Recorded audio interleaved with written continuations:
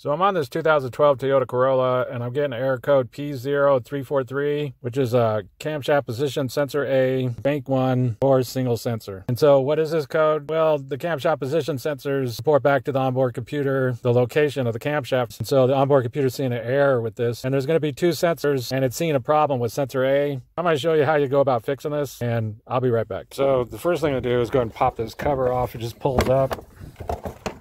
And these are the camshaft position sensors. And this is the one we want to take a look at. So right here on the back is a small little clip. And I just use a small little screwdriver. I just barely pull out a little bit on one side and then pop it up. You just want to barely pull out a little bit on the center so you can pull it up. That way you don't break the clip.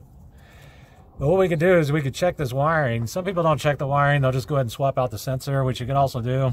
But if you want to be sure it's a sensor, you can't check the wiring. And so to do this, I'm gonna go put the key into the on position.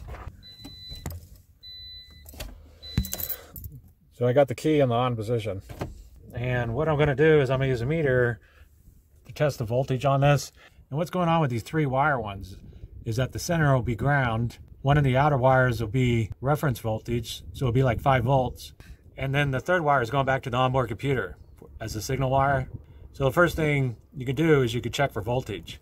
And while you could go from the center pin to one of the outer pins, it's very easy to accidentally blow the fuse if you're not careful. So I always just go from ground on the battery. So I'm just gonna go from ground over here. Try to do this with one hand. And so it's fairly hard to do this with one hand, but as you can see on one of the outer pins, I'm getting five volts DC. I'm going from the outer pin.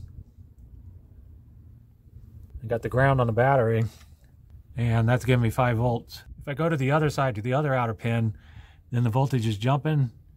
And this is very likely the signal wire. So that's the one going back to the onboard computer. And if I set my meter on continuity just to read if there's connection, I'm gonna go from ground to the center wire. And this is just measuring to see if that's a good ground. And if it reads anything on continuity, it means that it's good.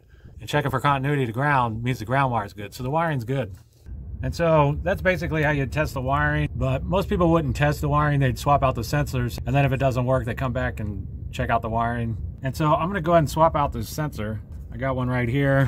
And all it's to take is a 10 millimeter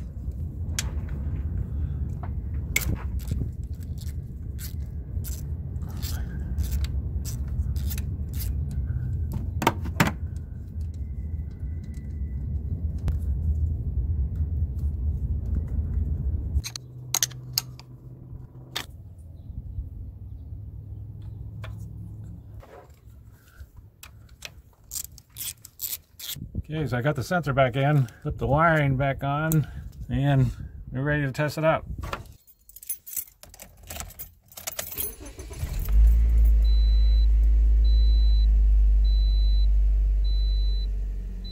So it started right up. Still has a check engine light right there. I'm gonna go ahead and scan for codes. And it still has those codes on there. So I'm just gonna go ahead and clear them. Yes and there went the engine light. So that's basically it. That's how you go about swapping out a camshaft position sensor on a 2012 Toyota Corolla. If you have anything to add, please comment down below. If you have any questions, ask me and I'll try to answer them. If this video helps you, please click like, please click subscribe, and have a good day.